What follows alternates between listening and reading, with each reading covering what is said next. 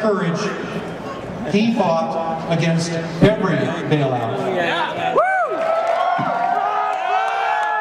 He fought against every deficit. He fought against every government intrusion into health care, whether Obamacare or the prescription drug plan, or giving money to Planned Parenthood. He warned of the dangers of the Fed years ago, virtually alone, when our savings accounts still earned interest. And he warned of the housing bubble and the market collapse long ago, when we could have prevented them both.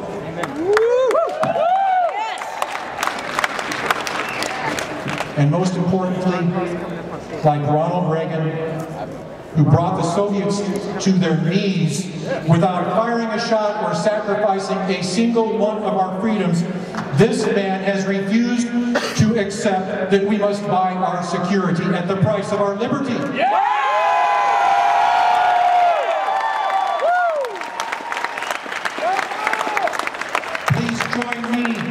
giving a big Kansas welcome to a consistent conservative and a man of liberty, Congressman.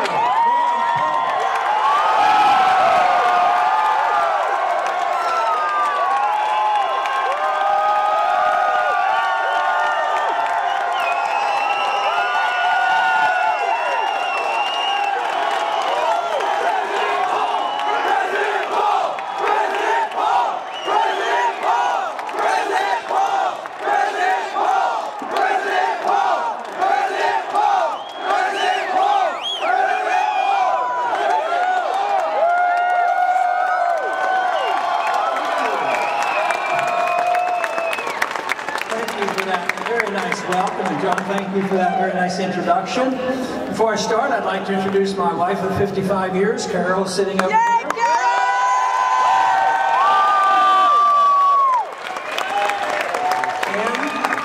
And we have 18 grandchildren. We brought two of them with us, Linda and Lisa.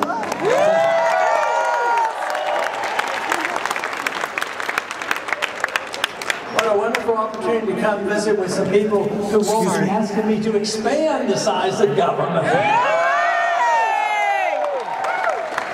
You know, this year, on January 1st, uh, it wasn't a very good year for those of us who like less government because uh, 40,000 new laws went into effect on January 1st. So I'm looking for the opportunity, if I am to be your president, I'd like to eliminate 40,000 laws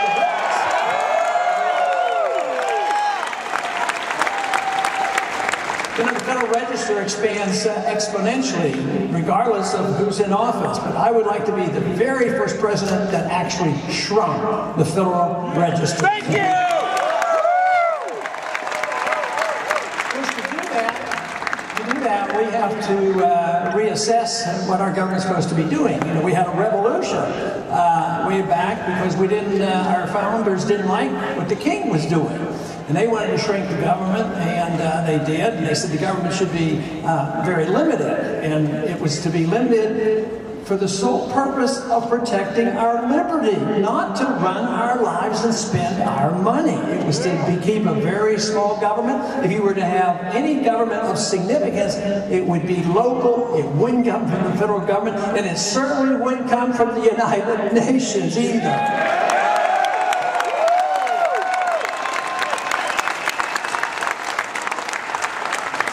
But we're in the midst of an economic crisis. It's not just in the United States, it's worldwide, but we're very much involved.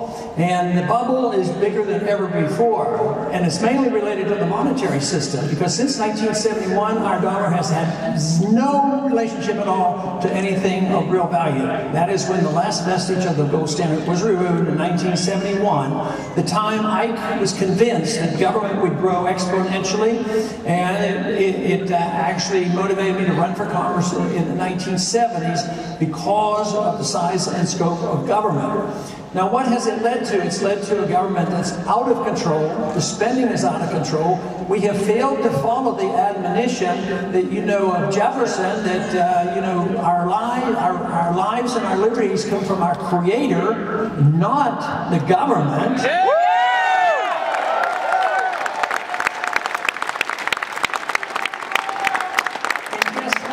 Consequence of that would be if we have a right to our lives and a right to our liberty, we're supposed to have a right to the fruits of our labor. That's what we're supposed to have.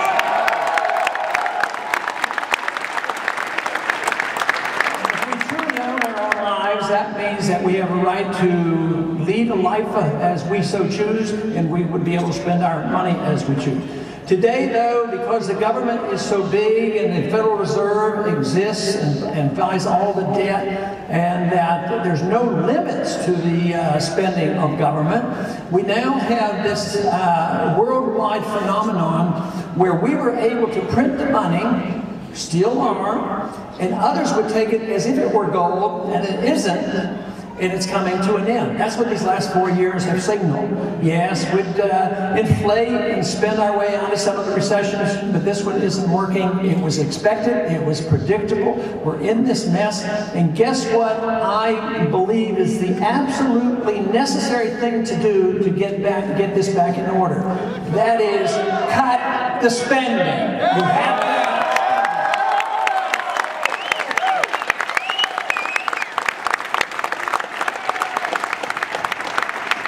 So the first year, I'd like to start off with a token effort at cutting like one trillion dollars.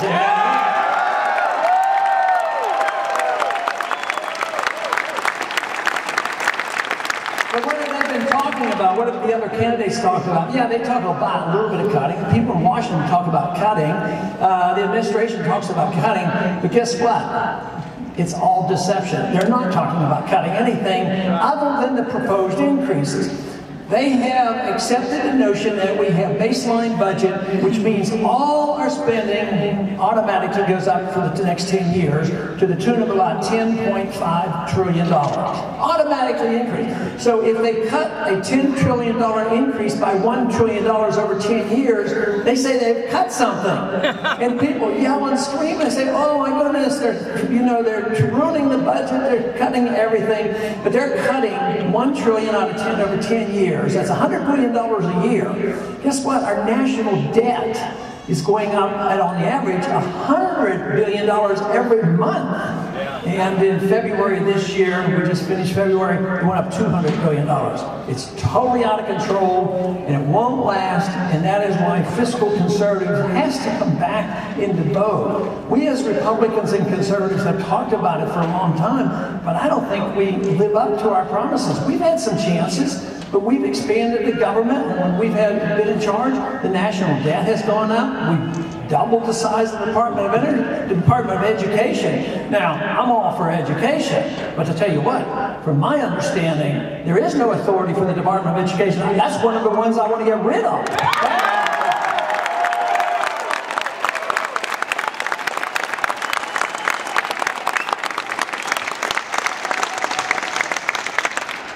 The economic crisis has been building. Everybody knows about it for the last four years, but the economic statistics of the last 10 years are very bad.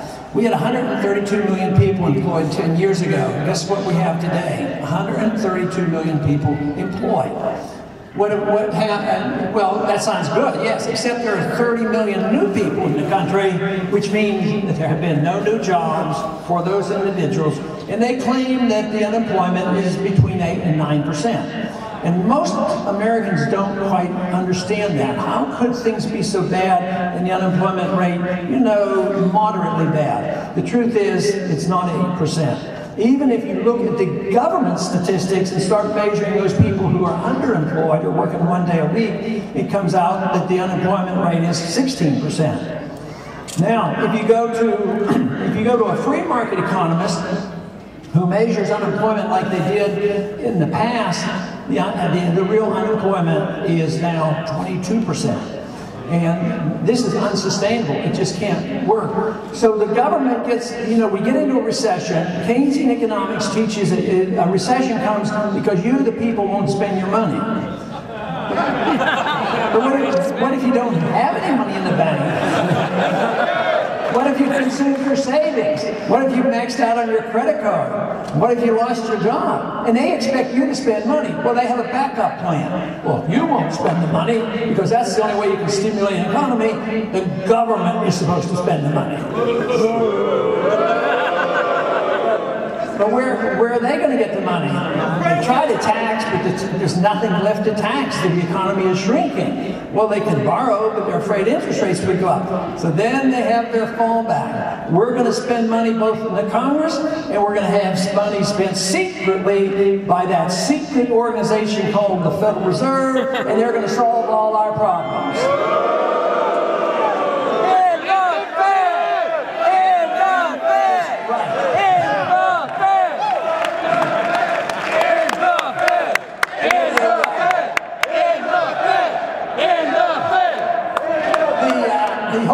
central banking uh, has been debated for a long time, like when Jefferson and Hamilton debated the issue. And uh, they went back and forth. We had a national bank early on, and Jefferson uh, got rid of the first national bank, and Andrew Jackson got rid of the second national bank. So this argument's been going on a long time. But the Constitution, if we had, you know, just a few more people in Washington that actually read the Constitution, uh, the founders did their very best in trying to protect us against what was happening today. They said that there's no authority for a central bank, only gold and silver can be legal tender, and you can't print paper money. We wouldn't have this problem if, if we had followed the rules. And yet, we went off the rules in 1913, introduced this notion of an income tax. I mean, where, where did that idea come from? So you'll know when the Republic has actually been returned to us when we repeal the 16th Amendment.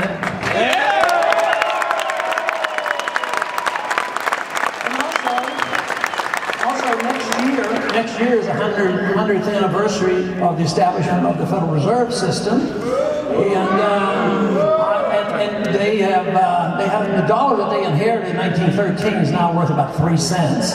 So I would say let's celebrate next year with the passage of repeal the Federal Reserve Act.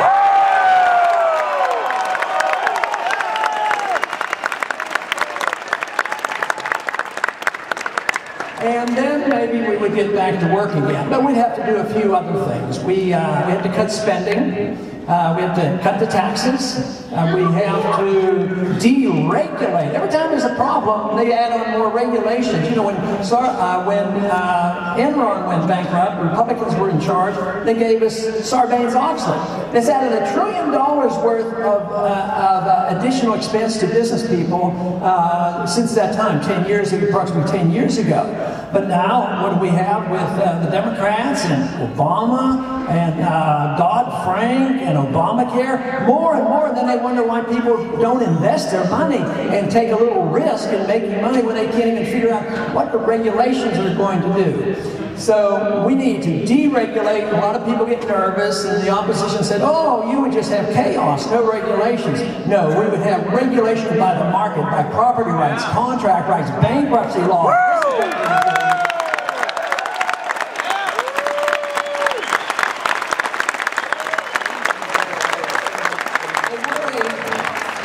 You know, they worried about having a depression, and uh, the bubble was there. It was predictable. The bubble burst, and those who were making a lot of money during the phase, uh, uh, the, the bubble phase, they're the ones who come screaming to the government and say, "We're too big to fail. You have to bail us out, or there'll be a depression." Congress and the Federal Reserve, to the tune of trillions of dollars, bailed them out. Now guess what happened? There was too much debt. It was, it was worthless. They couldn't sell it or they'd have to go bankrupt.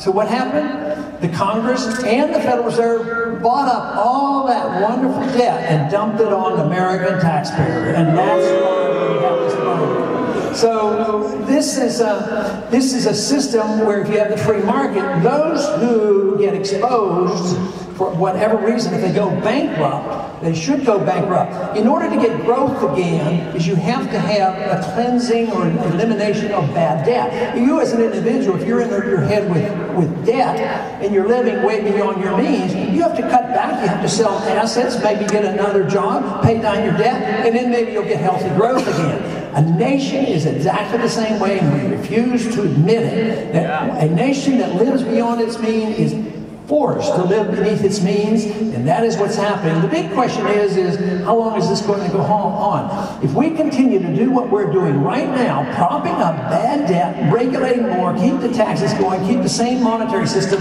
this will be prolonged. It's going on five years right now. Japan did the same thing, and it's 20 years, and they're still in big trouble.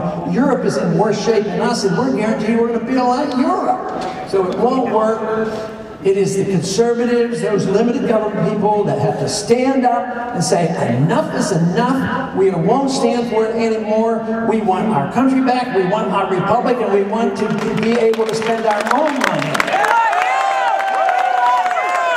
We want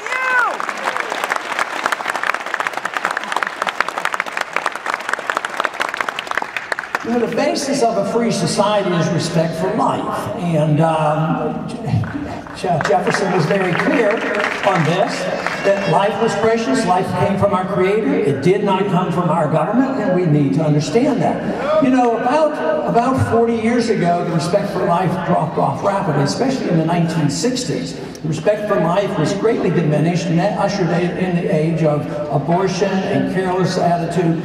And I have maintained constantly over the many years uh, that to defend liberty, which I do. I defend personal liberty. I defend economic liberty. I defend your right to your life because you have been given your life and your obligation to take care of your life.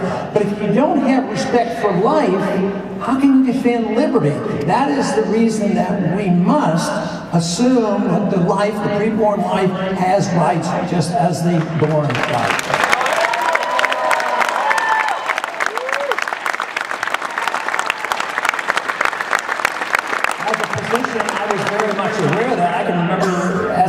Student before abortion was even considered, uh, the statement made to me was, well, if you're taking care of a pregnant woman, you have two patients. And lo and behold, that's exactly true because even legally, and today, even with all the abortions legally I have an obligation, if I give a medication to a mother and hurts the fetus, I'm in big trouble. I'm, it's malpractice. So the, the, the, the, unborn have rights. They have inheritance rights. They can't be injured. But all of a sudden, it's arbitrary. Oh, we don't want this life, so therefore we can dispose of this life. And I think that we have to have a lot more respect for life. But I'm also convinced that more laws alone won't make the they make the case. The states have the right to write the laws and, and do what they need to diminish the amount of abortions done. But in the 60s, the laws were very strict. You weren't allowed to do them. But I was doing my training and saw in the same hospital I worked in, they were doing abortions. So it was the attitude that changed, the moral standards of the change changed in this country.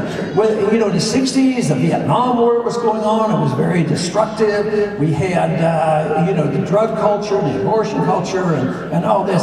So then the laws were changed in the 70s. So though it might be easy to say, well, just pass more laws, more laws, but really there's a lot of responsibility by the individual and the morality of our society that will make the difference.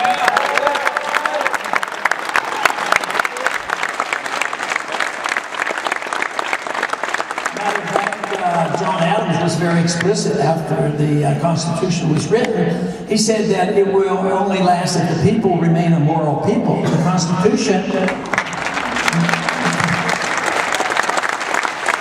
the Constitution was not a perfect document. It was a very good document, but he said it depended on the people. So we still have to deal with that. And uh, this is where I think we come up short.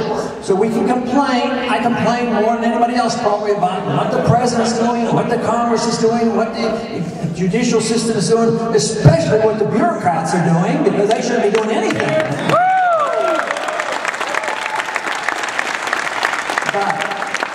Too often, government reflects the people. That is why I have been so happy to identify closely with, especially the beginning of the Tea Party movement, because this was a group of people who want to stand up and say, enough is enough. You've been telling us stories all along, and we put one person in, and they do the same thing. You put another one in, the same thing again. And I've been uh, annoyed by that too, because I, I think we should have a, a much better foreign policy. I think we should only go to war with a declaration of war.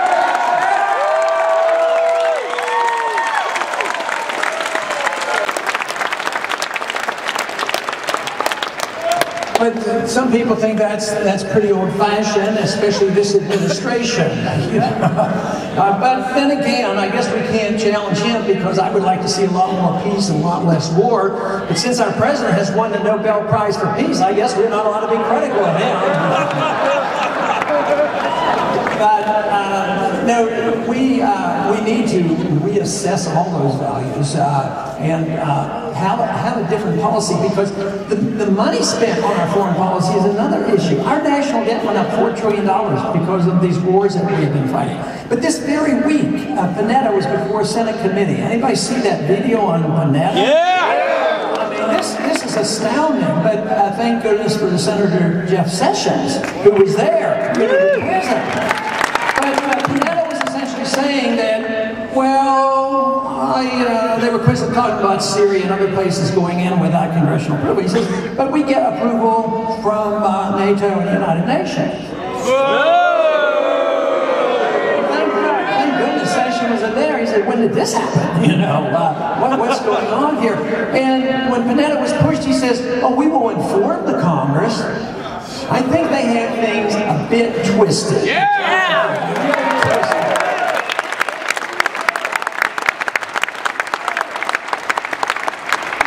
The president is not a dictator. He's not a king. He can't take us to war without a declaration. He shouldn't be declaring that he can kill American citizens, assassinate American citizens.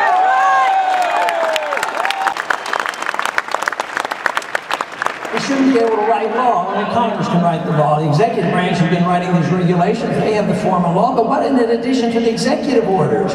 Now, there's a few executive orders the president is authorized to carry out his constitutional function.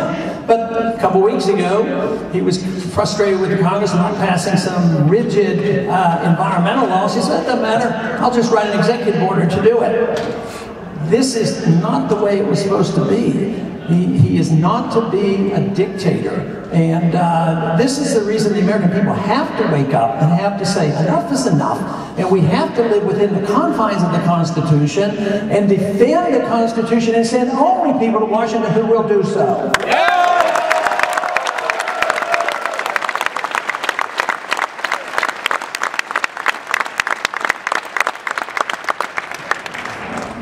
But unfortunately, we keep moving in this uh, in, in the wrong direction because the, even the Congress gave the authority to the president to arrest American citizens now. Arrest American citizens by the U.S. by the U.S. Army, and no charges made, no attorney, no trial, secret prison, indefinite detention for American citizens. The republic cannot exist without that bill and many others being repealed. Some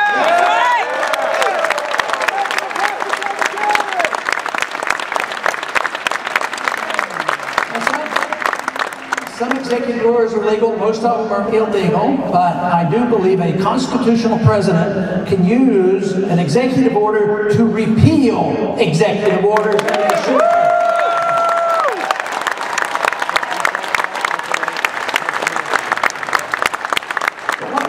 talking about and what has led to the Tea Party movement has been the frustration with the status quo. I have frequently said my opponents very often are representatives of the status quo. They're, they're talking about continuing the same foreign policy. They're not talking about changing the monetary policy. They're not talking about real cuts. They're not interested in re repealing the Patriot Act, which is an abuse of our Fourth Amendment rights.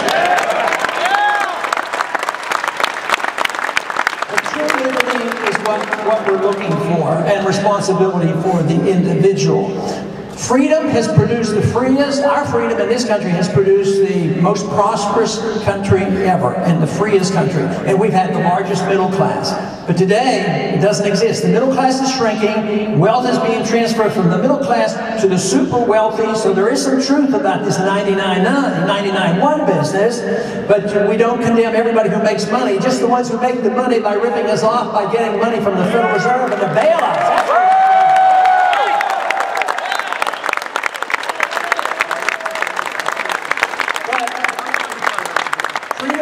Tested, it did well, we gave up on it, we became more interested in the materialism that is produced by freedom, and we have lost our way because we're not producers anymore. The jobs have gone overseas, and we are living off debt, so it has to be reassessed. And the experiment of freedom is going to exhaust itself if we continue to do this. And this is the reason that we have to state very clearly what we believe in, and that is our individual freedom. What made America great? The experiment should not die. And for those who tell you you want to go back to the Dark Ages, let, let them know that the Dark Ages was tyranny and big government. It's been around for 6,000 years. We've only had a small taste of liberty, and we like to taste. We're not going to let it go. We are going to defend the cause of liberty and work for peace and prosperity.